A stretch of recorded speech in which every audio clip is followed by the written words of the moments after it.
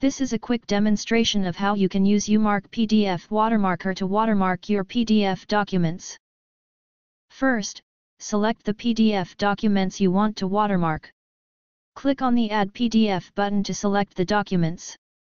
You can also select all documents in a folder by clicking on the Add Folder button. The selected documents will be added to the list on the left. You can select a document and the first page of that document will be displayed in the preview area in the center. If you select a password-protected document, you will be asked to provide the password for the document.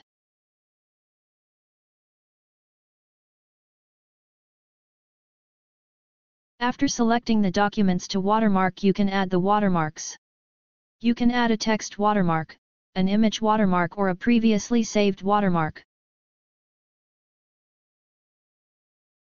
Click on the Add Text Watermark button and a new watermark will be added.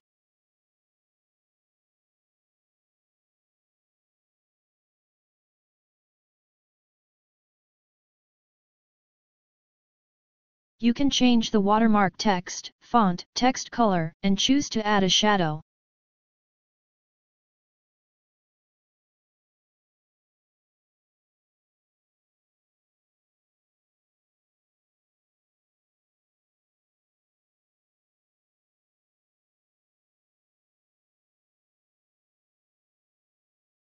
You can specify the placement of the watermark by selecting one of the nine predefined positions or a custom left and top position. You can change the transparency of the watermark and rotate the watermark.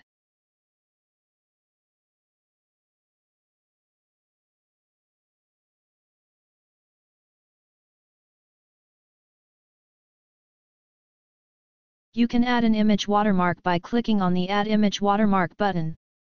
Select the image you wish to use as a watermark.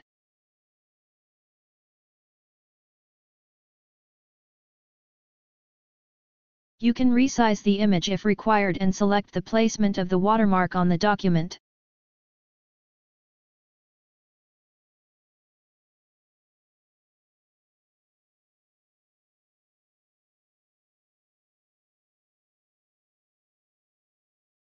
You can save the watermark for repeat use by clicking on the Save Watermark button. Provide a name for the watermark and it will be saved.